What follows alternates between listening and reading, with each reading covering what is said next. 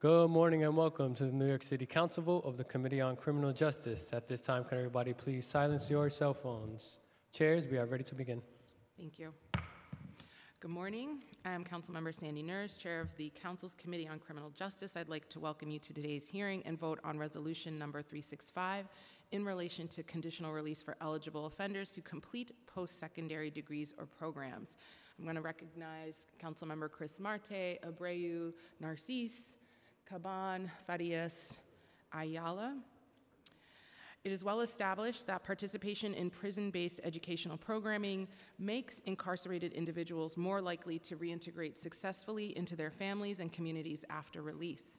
An analysis of 37 years of research on correctional education found that incarcerated people who participate in higher education programs are 28% less likely to recidivate than those who do not.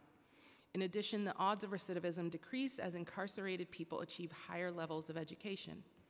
Recognizing the positive impacts of prison based educational programming, in 2009, New York State established the Limited Credit Time Allowance Program, which offers individuals incarcerated for certain nonviolent crimes a single six month time credit against their sentence if they complete a post secondary degree during their sentence. However, individuals are not eligible for an additional time credit if they complete successive degrees.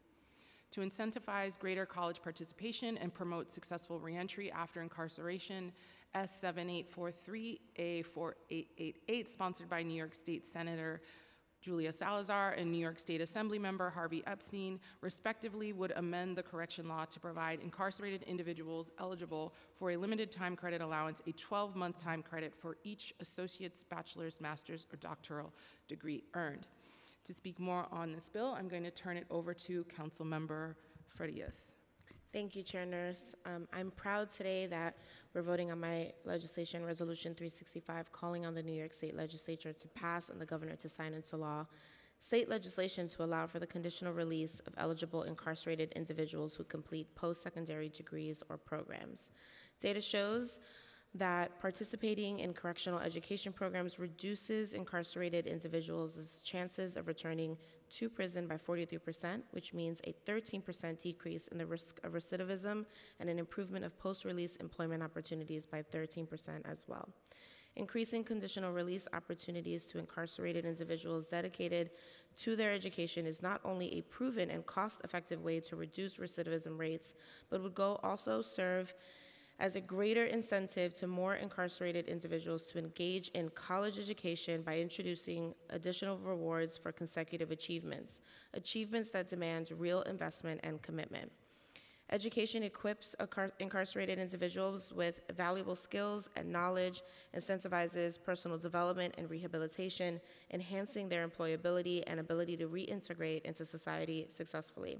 This approach not only benefits the individual by providing a constructive pathway towards a better future, but also contributes to overall public safety by addressing one of the root causes lack of education and opportunities and access. Thank you to State Senator Julia Salazar and Assemblymember Harvey Epstein for leading on this bill in the state legislature. The City Council believes that supporting initiatives that promote education and facilitate, facilitate successful reentry into society are essential to fostering safe communities, getting people the services they need, and reducing recidivism. Thank you, Chair Nurse, for giving me the time to speak on my reso and for moving this through your committee, and I urge my colleagues to vote aye. Thank you, Councilmember Farias. I want to recognize uh, Councilmember Althea Stevens has joined us. Hanif has also rejoined us, and we will wait for the clerk to do the vote.